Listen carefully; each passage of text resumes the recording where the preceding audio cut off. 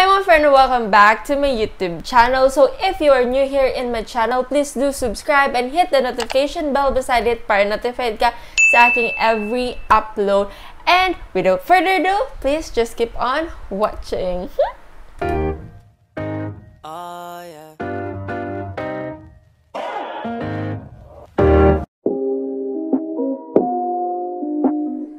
So guys, disclaimer lang, bago natin to simulan tong video na to, disclaimer is wala tayong tripod kasi nasira siya and wala tayong pagbibilan ngayon kasi quarantine kaya sorry na lang guys, sorry, sorry, sorry. Babawi tayo ng quality pagkatapos ng quarantine. So for today's video guys, we will going to do a challenge and that challenge is called transforming old clothes into new clothes. So Guys, etong mga clothes na to is hindi nang galing sa wardrobe ko kasi disclaimer, hindi ako artistic, hindi rin ako um, crafty person or whatsoever. Hindi talaga ako mahilig sa arts.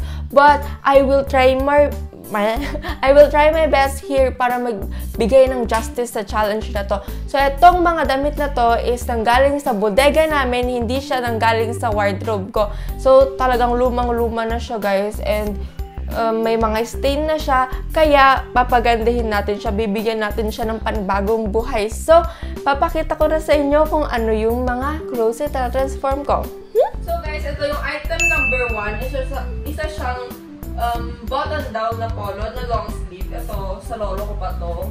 Yan. Ganyan siya. Pagka isusuot natin. Para makita nyo guys yung before and after. So, ito yung item number one, guys. Ganito siya. Mukha akong hindi ko malaman. Basta ganyan siya, guys. So, guys, ito yung item number two natin is ito siyang black siya na knitted and gagawin natin siya um, DIY na tie sleeve to. And panoorin nyo na pati turban. Gagawin natin siyang turban and um, panibagong top.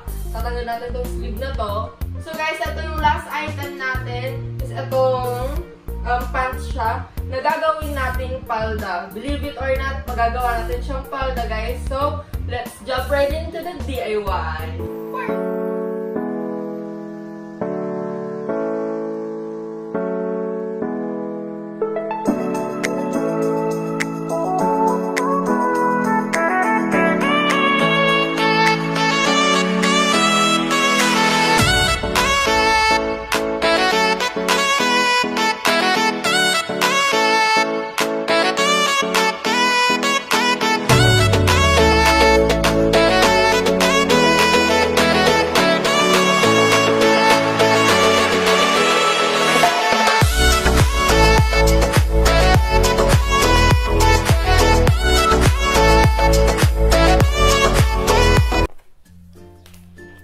Na nga guys, tapos ko nang ma-DIY lahat ng i-DIY ko after 2 hours. So, eto na nga yung mga nagawa ko guys. Yung pants is nagawa ko na siyang palda. And eto yung palda, yan. Yan, medyo may dumi-dumi pa pa siya dyan, diba? Pero ito yung palda, guys. And yung blouse is nagawa ko na siyang self-tie na crop top. Ayan. And yung turban guys is madali lang tong turban na to kaya mamaya ko na siya gagawin. And itong polo is hindi ko na siya gugupitin guys kasi may tricks na kung paano siya maging palda. So, ito na yung revelation. so guys, ito na nga yung polo na ginawa kong skirt. Ito siya, yan. Ito yung button daw niya and tinali ko lang siya sa likod. So, ito yung outfit number one.